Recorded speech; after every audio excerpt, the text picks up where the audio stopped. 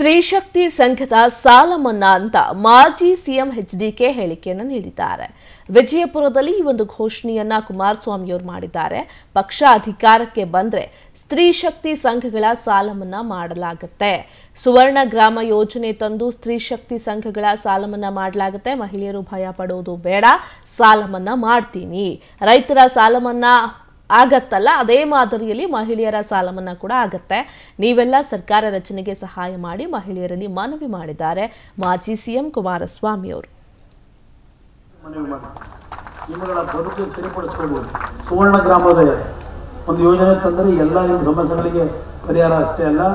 ಸ್ತ್ರೀ ಶಕ್ತಿ ಸ್ವಸಹಾಯ ಗುಂಪು ಬಹುಶಃ ನಿಮ್ಮ ಡಿ ಸಿ ಸಿ ಬ್ಯಾಂಕ್ ಅಧ್ಯಕ್ಷರು ಸ್ವಲ್ಪ ಸ್ತ್ರೀ ಶಕ್ತಿ ಸ್ವಸಹಾಯ ಗುಂಪುಗಳಿಗೆ ದುಡ್ಡು ಕೊಟ್ಟಿರ್ಬೋದು ಚೆನ್ನಾಗಿ ಯಾರು ಭಯ ಬೀಳಬೇಡಿ.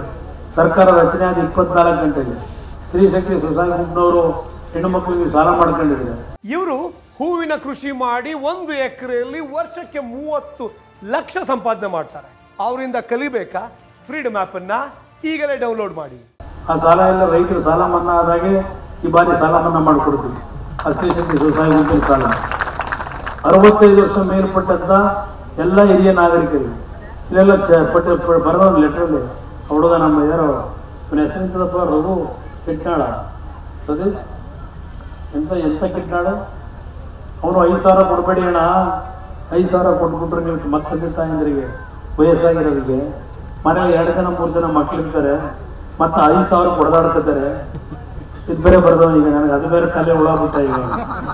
ನಾನೇನು ಕೊನೆಗಾಲದಲ್ಲಿ ಆ ತಂದೆ ತಾಯಿಂದ ನೆಮ್ಮದಿ ಬದುಕಬೇಕು ಅಂತ ಹೇಳಿ ನನ್ನ ತಾಯಂದ್ರಿಗೆ ಮನವಿ ಮಾಡಿ ನಿಮ್ಮಗಳ ಬದುಕು ಸುವರ್ಣ ಗ್ರಾಮದ ಇವರು ಹೂವಿನ ಕೃಷಿ ಮಾಡಿ ಒಂದು ಎಕರೆಯಲ್ಲಿ ವರ್ಷಕ್ಕೆ ಮೂವತ್ತು ಲಕ್ಷ ಸಂಪಾದನೆ ಮಾಡ್ತಾರೆ. ಅವರಿಂದ ಕಲಿಬೇಕಾ? ಫ್ರೀಡಮ್ ಅನ್ನ ಈಗಲೇ ಡೌನ್ಲೋಡ್ ಮಾಡಿ.